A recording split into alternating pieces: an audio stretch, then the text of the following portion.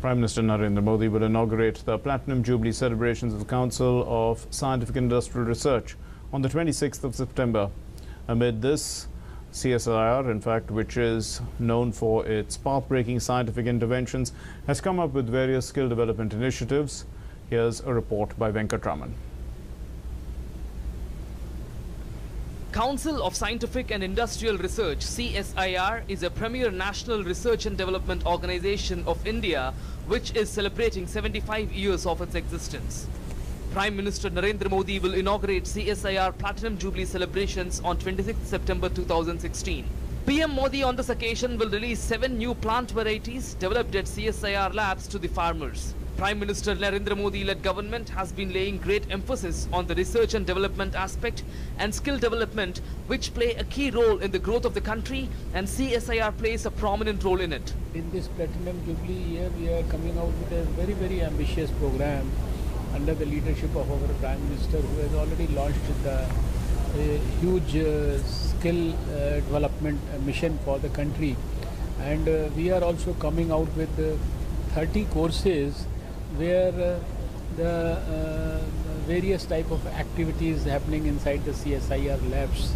We are going to impart skills. These programs will range from six weeks to almost 52 weeks, and uh, they will all start within the next two three months, and then uh, by the end of the next year, you will find that these uh, programs number is uh, scaled up to 75 programs.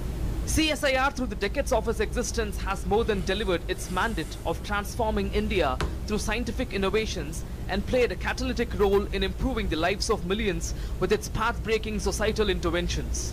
Producing India's first tractor was one of the great achievements. Baby milk powder for, for infants from buffalo milk was another challenge with, uh, which was marketed as Amul spray.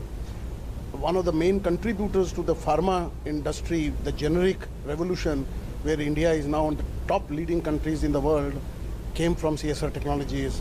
Right from all the drugs that you generally use, which are now affordable, but you should used to be imported, to you know um, uh, contraceptives like Saheli, um, biomedicines and vaccines, especially clotbusters in recent years. India used to import all the clotbusters.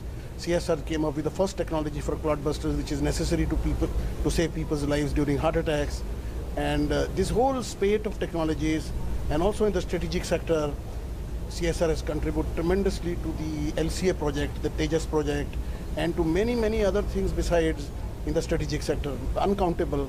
CSIR has been the foundation organization for many scientific inventions in India so far.